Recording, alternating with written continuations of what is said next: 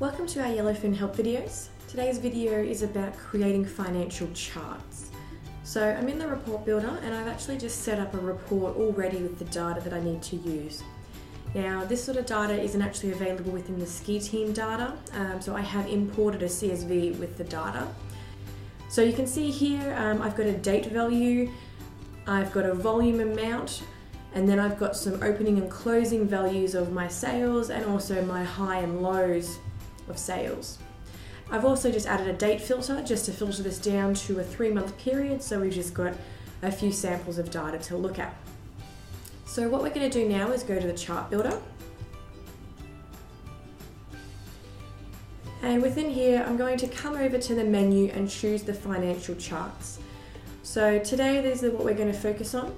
We've got three different financial charts. Firstly just a basic financial line which is used to display the trading value with a subchart displaying the volume. We're also going to have a look at high and low reports. So these are going to show your daily highs and lows, including those opening and closing values. They're going to have little tick positions corresponding to that opening and close value. And the last one we'll have a look at is a candlestick, which is going to show again those daily highs and lows and opening and closing values However, this time the candlestick element of it can have a different color depending on the direction of that day. So first let's just start with our financial line. Now I'm going to select that. We'll see here we've updated it here and now I've got these particular fields that I need to fill. So my horizontal axis is always going to be my date field in this example.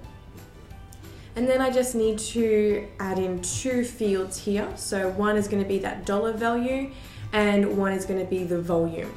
So my dollar value is going to be my daily close value and my volume is my volume field.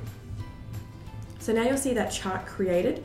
You'll notice it's not very colorful by default. Um, you can adjust those colors by coming to your chart settings here and come down to the financial settings. So you can just choose what color you want the line, so let's say blue, and what color I want the volume, and I'm gonna make that green. So there we can see that updating.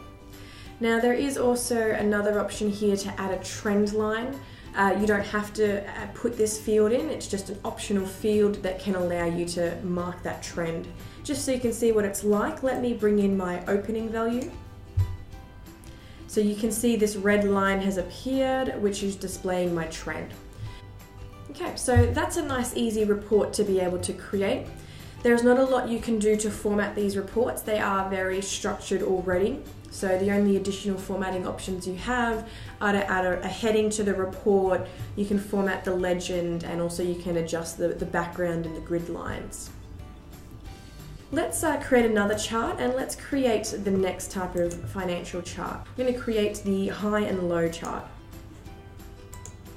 Now this time you'll notice I've got a lot more um, fields to be able to fill. So again, our date is going to be our horizontal axis. And now we're going to enter in a start and end value. So these are going to be my open and close values. Now they also want to see some highs and lows, so I've got this data already. And the last one is my physical volume.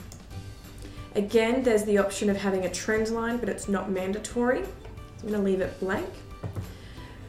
Okay, and we can see our previews come through. Uh, again, it's not very colorful, so please feel free to add some color to it by going to those chart settings and the financial options. So now we have a few options on, I guess, what to color. We can have an open value and a close value. Uh, we can have an overall line color, and we can also have the volume coming in its own color as well. So you'll see the main, the volume is our bright orange, the value is that purple, and very faintly you can just see some little dashes coming out the side which are displaying those open and closed colors as well. Let's quickly create the last type of chart. So this is my candlestick chart. This candlestick chart looks very similar to what we just saw, uh, so again, I'm going to bring in the same fields, my date, my open value versus my close, my high and my low, and my volume. Okay, so this time though, there's a little box being created between that open and close value. And then the fill of that box, so either it's black or it's white, is depending on you know whether it's actually doing well or not. So for the last time, uh, we'll format these, so let's make them a bit of a color. So if things are going well, let's make them green. If that candlestick is going badly, let's make it red. Then we can just make the overall line blue and the volume amount I'm going to keep orange for consistency. So you can see that's uh, actually, you know, quite easy to read and now by making that green and red I can very easily see whether, you know, we've had a good day or a bad day. So it's very easy to create these financial charts. As long as you've ensured you've got the right data to be able to fill the required fields, they actually can be really useful. Thank you for watching and please tune in to our next video.